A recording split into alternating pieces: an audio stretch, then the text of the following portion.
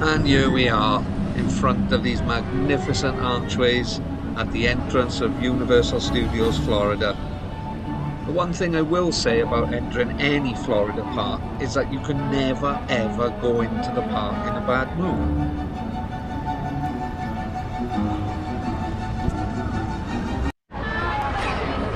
Got to give Universal Resort a big up here because at the park entrance there's hardly ever any queue.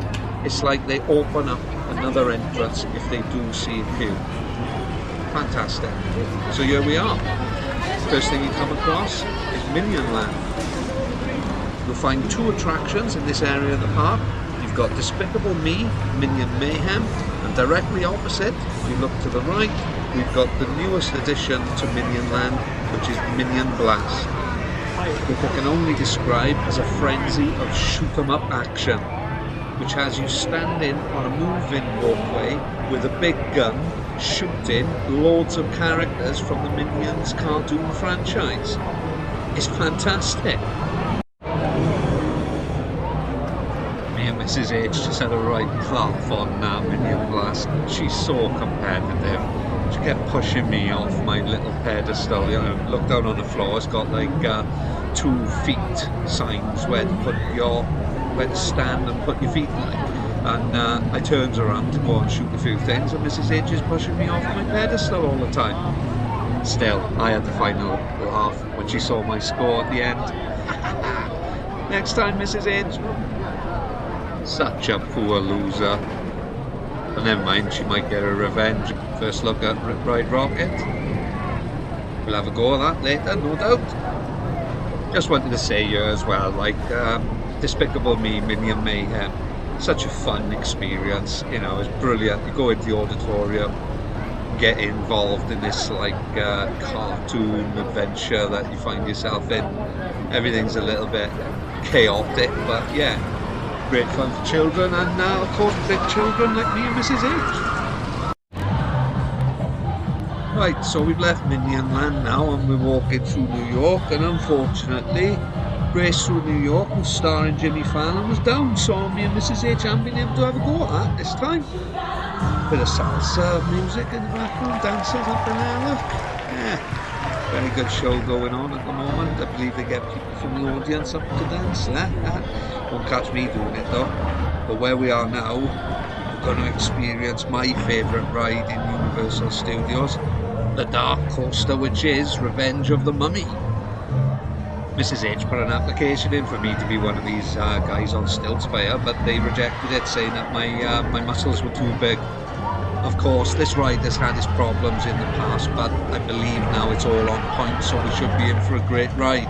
It's got loads of special effects, it's got forwards and backwards thrills, so me and Mrs. H are going to give it a go. So we find ourselves back by King's Cross Station again. Um, we had to bypass the area by uh, Fast and Furious. There had a few walls up there. I Don't know what was going on really, but um, looked like they were setting up some sort of display. Not sure whether it was temporary or not, but um, we'll have a little look later on. Well, look at that telephone box. Don't see many of them in the UK these days. But missing out on Fast and Furious, not the end of the world. It's one of those attractions where, unfortunately for me, queue line is more exciting than the attraction itself. Diagon Alley, let's check this out. I love how they've angled these walls so you can't see what's in front of you as you come around the corner. But when you do, it all opens up and it's magnificent. Look at it. The level of detail that there is around here is just out of this world, you know. The creativity shown here beggars belief. You know, you've got the train station next door and there's a bridge that comes across here in front of Diagon Alley and um, it makes sound effects of trains going past. It's like they've thought of everything. And here we are at the Leaky Cauldron. You can have a breakfast. Don't think we'll be getting up early enough for that though. Me and Mrs H like to have a bit of a lie-in in the mornings. Mrs H loves Harry Potter. She queued for hours outside the bookshops to get the books so she could read them in the first day. There she is, look, taking it all in.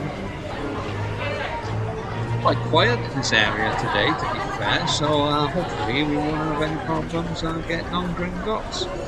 But uh, yeah, let's have a look in the windows here. Gilderoy Lockhart. He was a bit of a, a phony and a wimp in the films, wasn't he?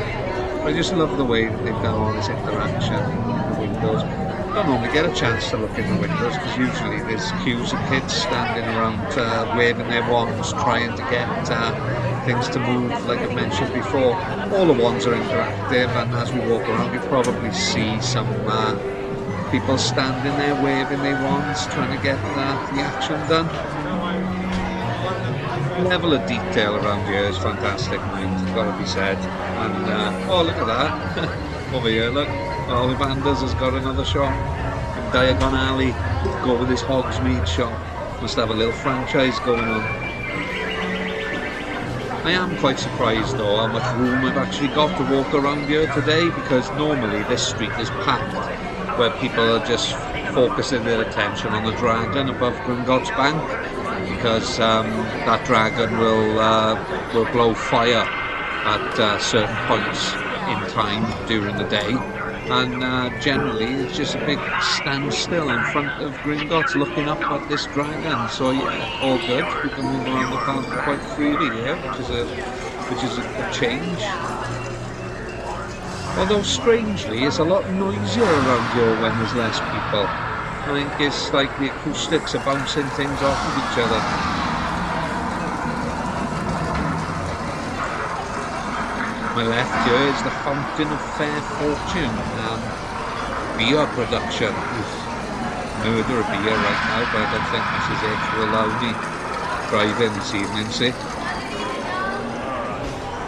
The pointing wands are everything here. I've never done it to be honest. I've never purchased a wand. I'd be interested to know really how many uh, how many attractions around Hogsmeade and uh, Diagon Alley there is for you to interact with your wand.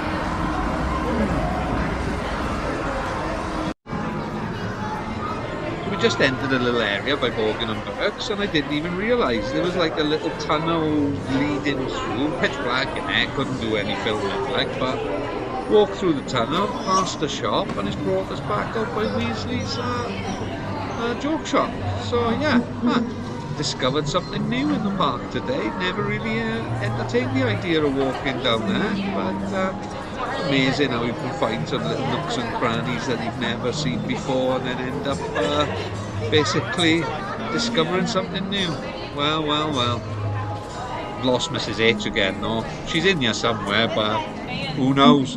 Probably bump into her now while uh, I go looking for the dragon breathing fire. Let's get a quick look by her now as a member of staff there and usually one from getting Gringotts um, so we'll get on this ride and uh, tell you all about it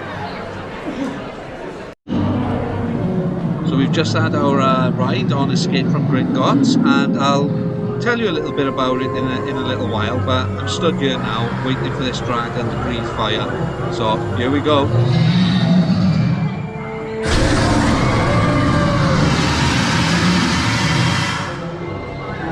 impressive. No queue for the night bus. Let's go and get some uh, action with the conductor. Hello. Good morning. How are you? You You from the UK? Where are you from? Oh, they're from Wales. Wait, you say you live in a whale? I don't live in a like, You mean like a wishing whale or like, like a killer whale? No, like Wales, the, the country, mate. Oh, oh, oh, oh, oh, the okay, yes, yes, yes, I'm familiar, yeah. Your favorite, I think your favorite Quidditch team plays in Wales. Yeah, the Holyhead Harpies. Uh huh. Yeah, they're fantastic. Yeah, they got nice uniform. Yeah. I wish we could go to a match, but we've got to wait on our bus driver at the moment. He Went to run an errand in Diagon Alley, so we're a bit stranded ourselves currently. Man, that driver—he's been gone too long. man. He's taking forever. Taking a long while in there, yeah If you happen to see him, if you go back in there, let him know to get back to work. We're still waiting on him. Yeah, yeah. Tell, tell him to, tell him to sit that head on over. Yeah, head on over. That'd be great. That they only seem to bring out at uh, Halloween Horror Nights, and of course Men in Black. Let's go and beat Mrs H and shoot them up again. We've just had a mad experience on Men in Black Alien Attack. our our car broke down and uh, we were just stranded there for like 15 minutes. But what Mrs H didn't realise was that our guns were still working and I just kept shooting the same thing all the time. Now, of course, being the competitor that she is, Mrs H didn't want to accept that as a fair game, even though I had like three times her score by the time our, our car started moving again. Like I said about this area just now, I am I'm not I'm not a fan if I'm being totally honest. I think this area of the park needs a regeneration and there has been talk that something could be on the way, potentially a Back to the Future roller coaster. But for now the Simpson ride's still here, which isn't as good as the Back to the Future ride that preceded it. I'll just nip in a Kwik-E-Mart now, get myself a six pack of Duff. anyway, um, what I will say about this area is that Universal have really, really captured uh, the town of Springfield exceptionally well. Um, whether or not this area is going to remain, um, it, who knows? It's just that now that Disney have obtained the rights to the Simpsons franchise, would Universal want to be competing against Disney in one of the thing with one of the things that they've actually brought on board themselves and no doubt will incorporate at some point within the Disney parks. It's a difficult one for Universal because, you know, at the end of the day, a lot of investment has been made in this area and to just rip it all down would be a shame.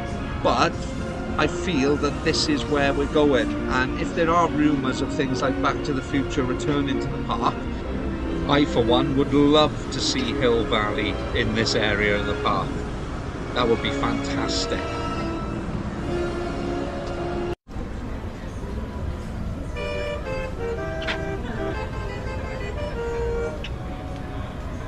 Roads, where we're going, we don't need roads. From Back to the Future, best trilogy movie of all time. Grays Sports Almanac there, the flux capacitor, awesome. I just love Back to the Future. I just think that uh, no matter whether you're 5, 10, 20, 50, 60, whatever, there's enough in those in those films to make everybody happy. Um, yeah, and, and like I said, if Back to the Future does come back to the park, then I'm all for it.